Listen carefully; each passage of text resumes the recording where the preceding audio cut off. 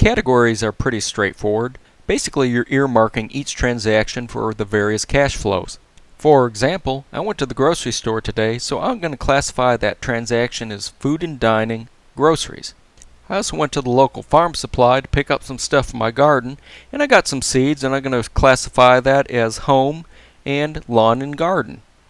Now what categories you use for each transaction is totally up to you, but let's go up to the category list so you understand a little bit more. So go up to the window menu and choose categories. A new file will come with a default set of categories, and most new users will find this adequate as a good starting point. Before I go further, I think it's important to understand the parent and possible subcategory relationship. This is more for reporting, but it's pretty simple. You might have a parent category such as utilities, and then have subcategories such as electricity, natural gas charges, or telephone charges. Knowing that relationship, it should be pretty easy to understand the category window. Moving back to Quicken, let's see, uh, we look at the bills and utilities, and I've got a subcategory of mobile phone that I don't use. So all I have to do is click on the minus sign to get rid of it. And let's say I want to add a subcategory of utilities. All I have to do is select that and click on the plus sign and add new subcategory. I'm going to classify this as electric. You can double click to edit a category. There you can change the name, add an optional description, or set the ex expense or income flag. Do note that that flag only applies to the parent category and all subcategories will assume that flag. If applicable, you can also mark a category as being tax related and you can associate it with the various tax form line items. Now existing users may find a bunch of unused categories in the, their category list. If you notice there's a status column though that shows unused. Don't just delete things willy-nilly because if they are actually in use, it will delete the category out of the transaction. What you really want to do is click on this gear icon and choose remove unused categories and that'll expunge all the unused categories out of your file. One great thing about the new Quicken is that you can actually have categories saved on the fly. Let's say I went to Hardee's and I consider that health food. Just record the transaction and that new category will be saved. Expanding on this, using the colon key it's really easy to also add subcategories. For example, I went to the gas station and I want to create the category of auto with a subcategory of gas. That's all I have to do is use the colon key and record the transaction and it will be recorded.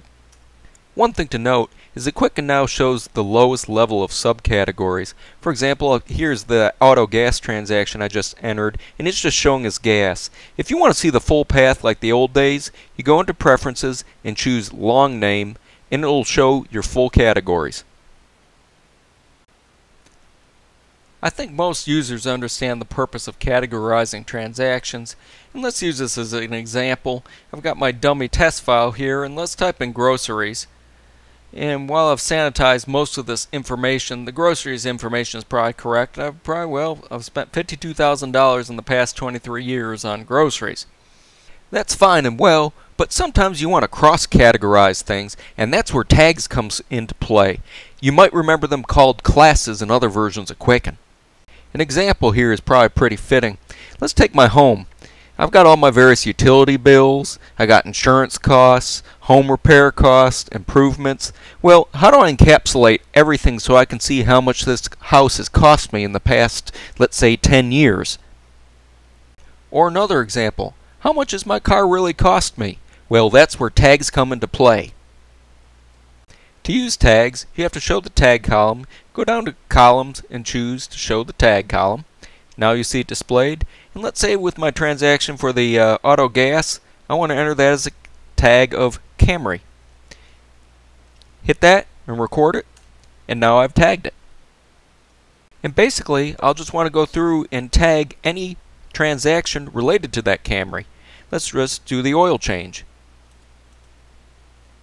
If you wish to manage your tags, go up to the window menu and choose Tags, and you'll see the list of all your different tags that you have set up. And let's look at how this will really play out. For example, I rented a place years ago and I set every transaction related to that rental as 211 milsaps. And if I type that in, I can see every cost associated with that house. Once you start playing around with tags, you'll soon realize just how powerful they are. Just be forewarned that tags can be kind of addictive. While I love Brandy as my pet and I consider her priceless, don't think for a second that I don't know the exact cost of her ownership. And tags are the only way that allow me to track this level of detail. Good luck!